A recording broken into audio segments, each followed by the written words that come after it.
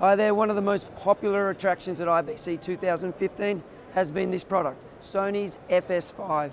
As you can see, it's a smaller, lightweight version of the very popular FS7, and we've partnered it with our smallest, lightweight, 7-inch 4K monitor recorder, the Ninja Assassin.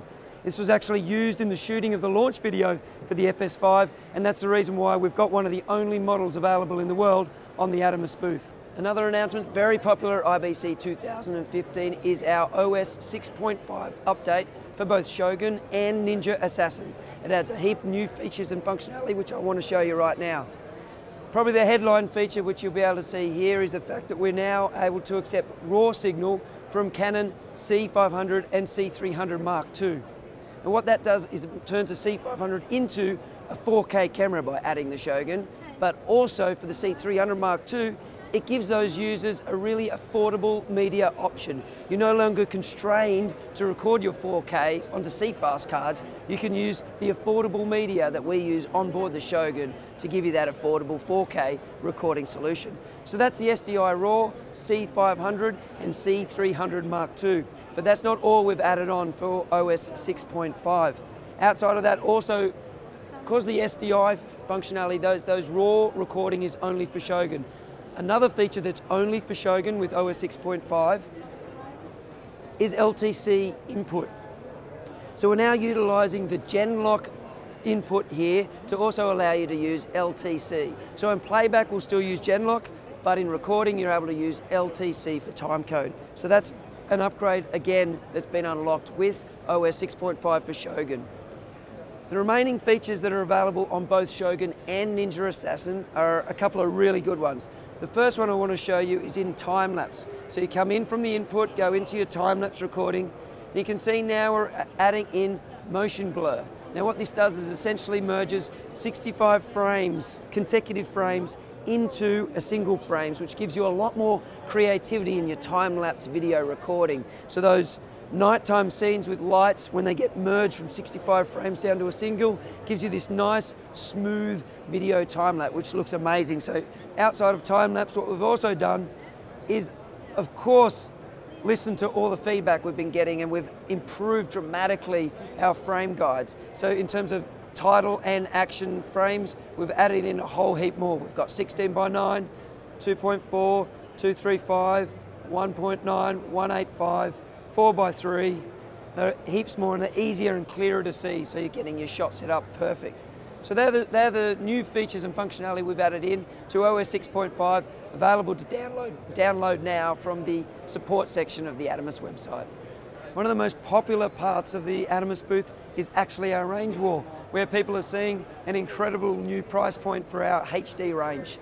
Samurai Blade, Ninja Blade and Ninja 2 are all about half that price of before IBC as when we opened at IBC. So these are all incredibly popular products. We've sold over 100,000 units in five years at Atomos, and largely it's because of this HD range.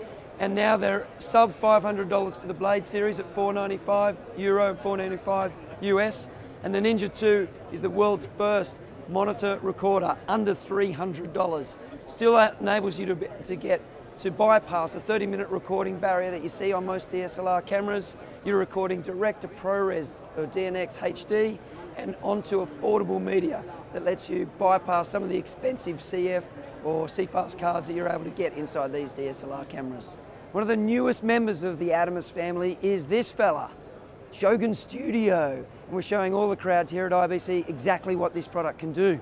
What you're looking at here is a dual channel 4K and HD, 7 inch rack mounted product, perfect for 4K for live events, broadcasts and the like.